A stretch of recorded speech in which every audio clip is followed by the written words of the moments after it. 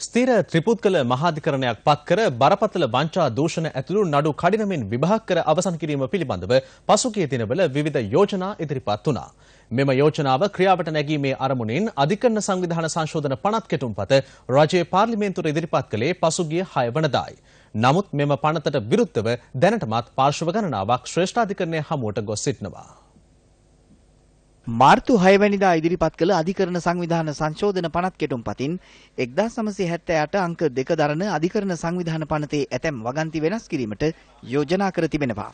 මේ කෙටුම්පතට අනුව එහි සඳහන් වැරදි සම්බන්ධයෙන් නඩු විභාග කිරීම සඳහා ස්ථිර ත්‍රිපුද්ගල මහාධිකරණයක් පත් කළ හැකි අතර ඒ සඳහා විනිසුරුවරුන් පත් කිරීමේ බලය ඇත්තේ අධිකරණ සේවා කොමිෂන් සභාවටයි. එම අධිකරණය පිහිටුවන ස්ථාන තීරණය කිරීමේ බලය අධිකරණ අමාත්‍යවරයාට පැවරෙන නමුත් එය සිදු කළ යුතු වන්නේ අධිකරණ සේවා කොමිසමෙන් විමසීමෙන් පසුවයි.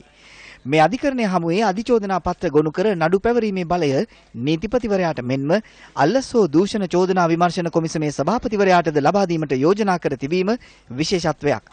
කෙටුම්පතේ සඳහන් වැරදි රට තුල හෝ රටින් පිට ඕනෑම ස්ථානයක සිදු කර ඇතනම් ඒ පිළිබඳව නඩු විභාග කිරීමේ බලය මෙම අධිකරණයට පැවරීමට කෙටුම්පතෙන් යෝජනා වී තිබෙනවා. සොරකම, දේපොළ වංචා කිරීම, විශ්වාසය කඩ කිරීම, විනිමය හෝ කොටස් වෙළඳපොළ වංචා ඇතුළු වැරදි ගණනාවක් මේ කෙටුම්පතට අනුව ස්ථිර ත්‍රිපුද්ගල මහාධිකරණය හමුවේ නඩු පැවරිය හැකියි. පනත් කෙටුම්පත අනුක්‍රම ව්‍යවස්ථාවට පටහැනි බව පවසමින් පසුගිය 12 වැනිදා ඒකාබද්ධ විපක්ෂය ශ්‍රේෂ්ඨාධිකරණය හමුවේ පෙත්සමක් ගොනු කළා. දැනට තිබෙන නීතිපතිවරයාට තිබෙන නඩුවක් දූෂණය හෝ වංචාව හෝ අල්ලස හෝ නාස්තිය පිළිබඳ නඩුවක් පැවරීම පිළිබඳ සුවිශේෂ ආරක්ෂාව හා සමාන අයිතියක් මේ පනතින් අල්ලස් කොමසාරිස්වරයාට පැවරෙනු. මෙතෙක්කල් නීතිපතිවරයාට සුවිශේෂව තිබුණු ඒ අයිතිය එලෙස වෙනස් කිරීම ගැන බරපතල අනතුරුදායක තත්ත්වයක් මේ අතර ශ්‍රී ලංකා නීතිඥ සංගමයේද මෙම කෙටුම්පතට එරෙහිව ශ්‍රේෂ්ඨාධිකරණය හමුවට ගොස් සිටින අතර ඔවුන් පවසන්නේ ත්‍රිපුද්ගල මහාධිකරණ ක්‍රියාවලියට තම විරුද්ධත්වයක් නැතත් යෝජිත ක්‍රියාවලියේ ගැටලු කිහිපයක් පවතින බවයි. මීට ප්‍රථමයෙන් මෙවැනි ත්‍රිපුද්ගල විනිශ්චය සභා නඩු වලට අදාළව තිබුණු ක්‍රියාමාර්ගය තමයි නීතිපතිතුමාට තිබුණේ ඒ අවස්ථාවේදී අග්‍ර විනිශ්චයකාරතුමාට දැනුම් දෙන්න තමන් කල්පනා කරනවා නම් මේ නඩුව ත්‍රිපුද්ගල විනිශ්චය සභාවට යොමු කළ යුතුය කියලා. ඉතින් ඒ තීරණය එලෙස තිබිය යුතුයි කියන ස්ථාවරයේ නීති සංගමයේ ඉන්නවා. අනිත් එක තමයි එක දිගට දිනපතා නඩු ඇසීම සම්බන්ධව කටයුතු කරන්න කියලා මේකේ අනිවාර්ය අංගයක් කරලා තියෙනවා. නමුත් මේක ප්‍රායෝගිකව කරන්න බැරි බව අවස්ථා ගණනාවකදී අපි ප්‍රකාශ කරලා තියෙනවා. දිනපතා නඩුව ඇහිීමට ප්‍රථම పూర్වෙන් වූ නඩු විසඳීමක් කිරීමට පියවර ගන්න ඕනේ කියලා. ඒකට අපි කියනවා ප්‍රී ට්‍රයල් ස්ටේජ් කියලා.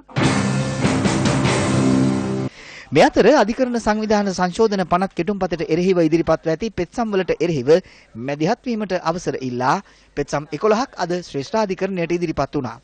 මෙසේ අවසර ඉල්ලා ඇත්තේ අමාත්‍ය පාටලි චම්පික රණවක සමග ආචාර්ය හර්ෂද සිල්වා, අජිත් පී පෙරේරා, ඉරාන් වික්‍රමරත්න, කඩු පරණවිතාන යන රාජ්‍ය අමාත්‍යවරුන් සමග මහාචාර්ය සරත් විජේසූරිය මහතා ඇතුළු විද්වතුන් සහ සිවිල් ක්‍රියාකාරීන් පිරිසක්.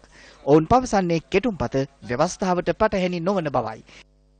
අපි හිතුවේ නම් එහෙම නීති අරන් එනකොට මේ රටේ පුරවැසියෝ ඔක්කොම කැමතියි කියලා. ඒ නිසා මම රටේ පුරවැසියන්ගේ ඉල්ලා හිටිනවා මේ හොරුන් වෙනුවෙන් කඩේ යන පුද්ගලයෝ කවුද කියලා තේරුම් ගන්න. ඉක්මනින් නඩු අහනවට විරුද්ධ කවුද? අලුත් හොරුත් පරණ හොරුත් දෙගොල්ලන්ට මේක අදාළයිනේ. UNP ශ්‍රී ලංකා JVP කියලා කතාවක් නැහැ. ওই පක්ෂ ඔක්කොටමත් නැති හොරු ඉන්නවනේ වෙනම. ඒතර ඒ නිසා හොරෙක් දූෂිතයෙක් ඇර වෙන කිසිම කෙනෙක් මේකට විරුද්ධ වෙන්න හේතුවක් නැහැ.